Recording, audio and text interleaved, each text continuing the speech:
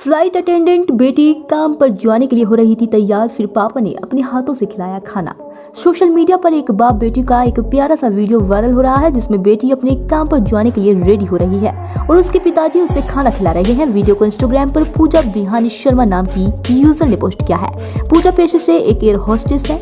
जो इंडिगो के लिए काम करती है। इंस्टाग्राम पर वह आए दिन अपनी पर्सनल लाइफ से जुड़े लम्हों को शेयर करती रहती है। लव यू पापा इस वीडियो में पूजा शीशे के सामने खड़ी होकर मेकअप कर रही है। साथ में उनके पापा खड़े हैं और उनके एक हाथ में प्लेट है तो दूसरे हाथ में वह अपनी बेटी को खाना खिला रहे हैं। वीडियो में एक बाप अपनी बेटी की उसकी माँ की तरह ख्याल रखता हुआ दिख रहा है। इस वीडियो को पोस्ट करते हुए एयर होस्टेस ने लिखा पापा आप सबसे अच्छे हैं। मैं जानती हूँ कि मैं आपसे ज़्यादा कुछ नहीं कहती, इसलिए आज मैं कहना चाहती हूँ।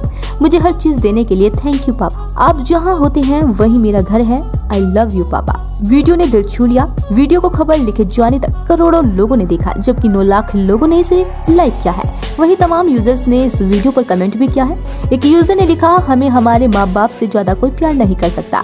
दूसरे ने कहा, आप लकी हो। सबको ऐसे पापा नहीं मिलते। तीसरे ने लिखा, हम सबके पापा दिखाते नहीं है, पर उनका दिल ऐसा ही होता है। वहीं कई यूज़र्स ने कहा कि उनके भी पापा आज भी ऐसे ही खिलाते हैं।